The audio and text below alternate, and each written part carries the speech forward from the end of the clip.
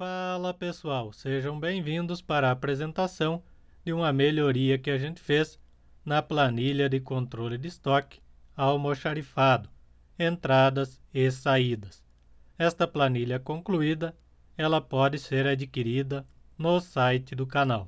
Link na descrição deste vídeo.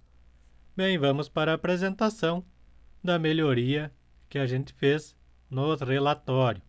Então você vai ter nesta versão, a partir desta versão, mais uma opção de relatório, onde você vai selecionar o mês, informar o ano e vai ser feito um cálculo referente à quantidade que entrou de cada item, saída e saldo.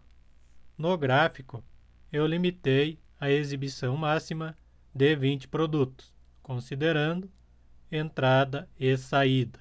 Mas se você gerar um PDF, vai ter uma tabela com o cálculo para todos os seus produtos, considerando o mês que você escolheu e o ano que você informou.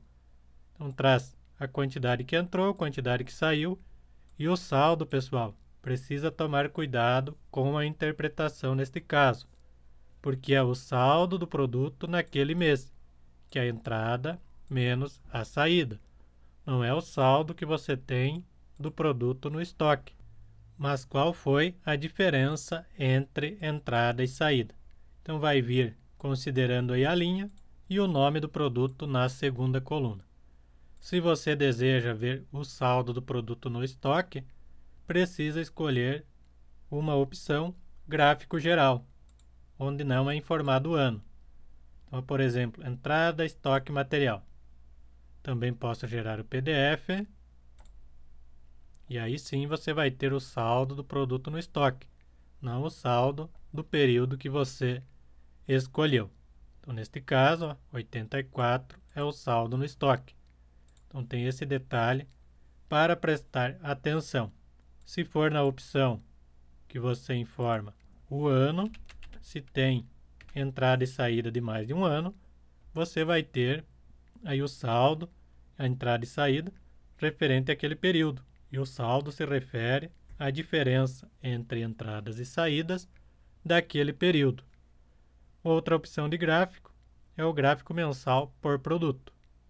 Então, selecionei o produto, informei o ano e é feito o cálculo referente à entrada, saída e saldo de cada mês para o produto selecionado.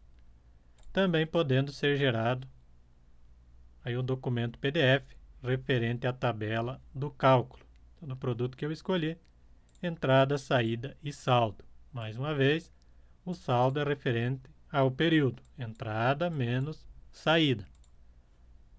Deixa-me ver se temos mais algum detalhe.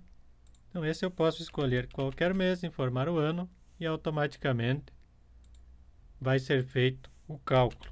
Gente trabalhou também aí em algumas alterações no procedimento, o que deixou o cálculo mais rápido.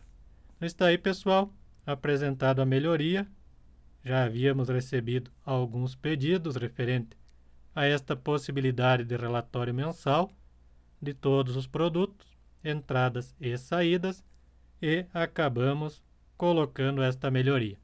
Se vocês gostaram, deixe o like aí no vídeo, se inscrevam no canal que eu vou agradecer muito a contribuição de vocês. E até a próxima aula.